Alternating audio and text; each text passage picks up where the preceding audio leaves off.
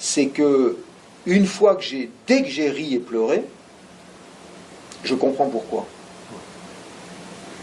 Mais euh, d'abord être ému, d'abord euh, euh, participer, d'abord m'identifier émotionnellement.